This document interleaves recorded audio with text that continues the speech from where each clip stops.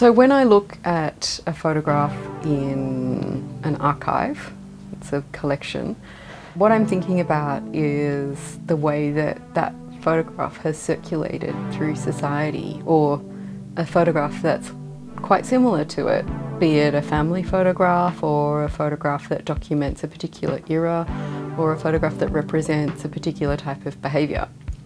And so I'm thinking about the systems in which that photograph has circulated, uh, be it Hollywood cinema or be it in Thai witchcraft or be it on an island. I, I'm thinking about the way that photographs have their own their own lives and they exist within certain structures um, and they're public ones and they're also private ones.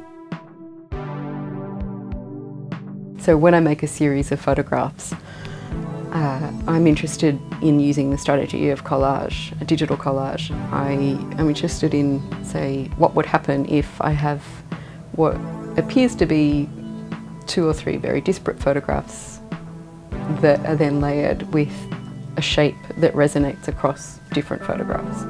So effectively, I'm creating a kind of connection using form, but at the same time, I'm tearing it apart by what is pictured and represented underneath that form. Whenever I work in a series, I'm interested in, I guess, disrupting or thinking about the way that I can emphasise the original space-time of the photograph. By collaging a photograph, I'm effectively bringing two different space and times into the one frame. By bringing that into a very new framework, which is the present, I'm kind of working with time more than I am with photography, or I'm bringing a new kind of shape or an image to time the present is what abstracts the original meaning of the photograph from its historical kind of context. I guess it's kind of when you like thinking about strata, like geological strata, like every layer of sediment has or symbolises a particular different geological era. And so taking something out from the bottom layer and bringing it into the top, I want to know what kind of stories we can kind of consider by looking at those two together. The way that I work generally is informed by my cultural background. My grandparents migrated to Australia from India, so they were living in India under the British regime. They were migrants from Portugal and um, Spain. My mother also migrated to Australia from Thailand, so she's half Burmese, half Thai. I don't really have any other kind of connection to Australia other than with my grandparents and my mother. I guess photographs have tended to be like this sort of bridge between my family heritage and myself.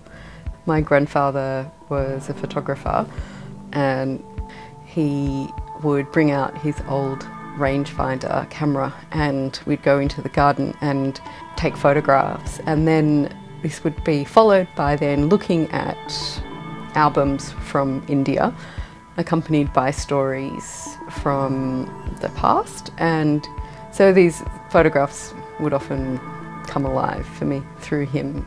These collections of photographs often connect us to the past and can either kind of construct it for us or it can be a sort of disparity between the story that's told and what is represented in the image. What I'm interested in really is the photograph's ability or the collection, their ability to effectively debunk or kind of obscure a story or a narrative in the ways that they're placed together.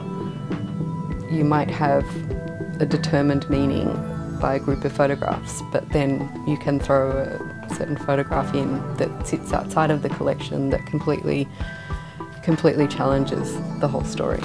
When I made the work Pleasant Island, I drew on a range of historical archive photographs of Nauru and I joined them together with a lot of transcripts that were made by security personnel in the refugee centre.